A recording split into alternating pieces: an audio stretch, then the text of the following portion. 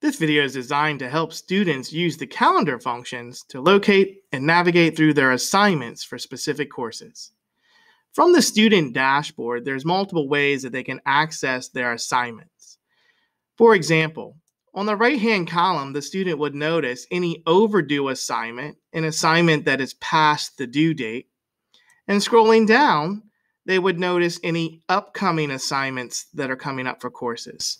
Now, from their dashboard, this will include every assignment from every course. Students can also click into a course to see the assignments that are coming up for that specific course.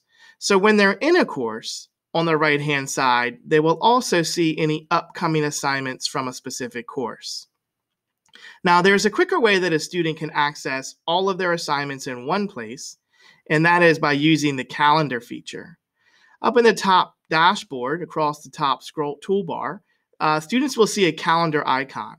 By clicking on the calendar icon, the students will access their calendar, which will list all assignments that have due dates that are coming up.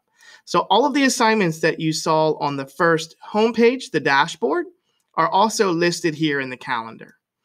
Now, the students will see that things will come in color coded so that it depends on the course that it's assigned from, will depend on the color. However, students in their options can also adjust the colors of the different assignments, but the calendar feature allows the student to see all of the upcoming assignments. In addition, from the calendar, the student can actually click on an assignment and it will take them directly to that assignment. So from here, I can click on it, view the information about it, and then as a student, I can actually click on the assignment to go directly to the assignment from my calendar. And that's how students can use their calendar feature to navigate through Schoology and their upcoming and overdue assignments.